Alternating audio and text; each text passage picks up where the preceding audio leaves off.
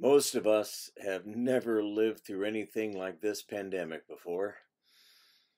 There's no pandemic playbook, there's no instruction manual for getting through this. We're all just kind of making this up as we go along, aren't we?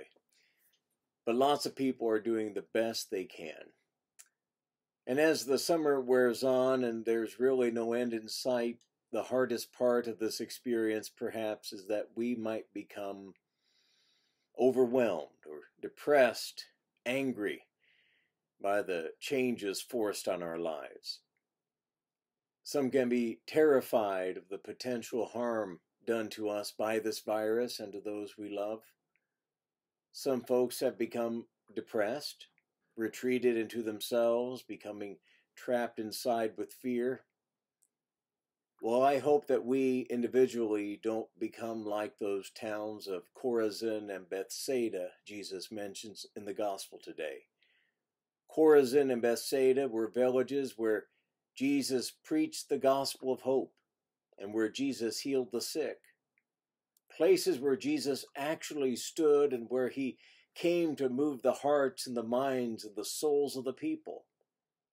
But even with the personal presence of Jesus, nothing changed in those places. The faith and hope of those stubborn people did not budge an inch. And today, Chorazin is rubble. And Bethsaida, no one knows for sure where exactly it was. Now, within this pandemic, God is working wonders. The sacrifice of doctors and nurses who risk their lives to care for the sick. Volunteers who keep pantries and homeless shelters open for the poor and those especially hard hit by COVID 19. Those who work long shifts to keep city and towns and facilities working, providing us with the supplies that we need. You know, just you wearing your mask and keeping your distance can be a sign of God's loving care right here in our midst.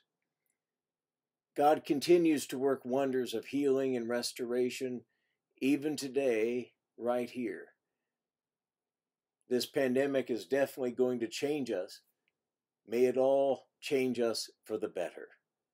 And unlike Chorazin and Bethsaida, let's be living and thriving centers of faith, hope, and love.